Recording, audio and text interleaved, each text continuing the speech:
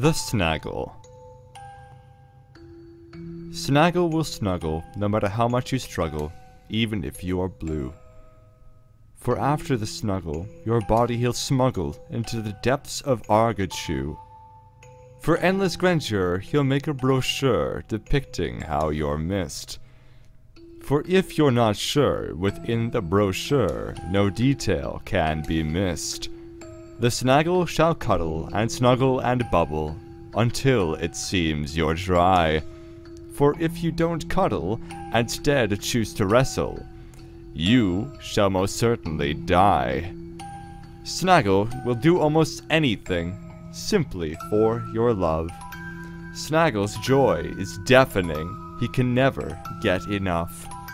The Snaggle shall approach his friends, all with open arms. But sadly his friends all meet their ends as they fall to the land of Lars. Fires and stones and ice and bones all melt together as one. For forging all these graceful tombstones can be tremendous fun. Blood and guts are thrown all about, frivolously without care. The snaggle gives out a joyous shout, confetti everywhere. The snaggle proclaims that throughout all his strengths, his heart is his greatest might. His love as its aim drives you insane, in death as it were in life. The snaggle will clean your empty soul and fill it much with stuff.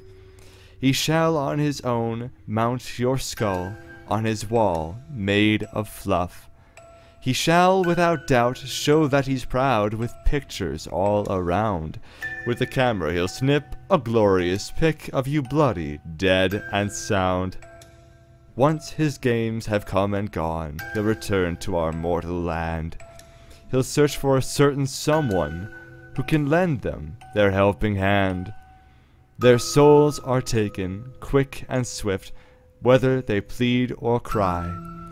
For whenever the snaggle offers a snuggle, you know that now is your time.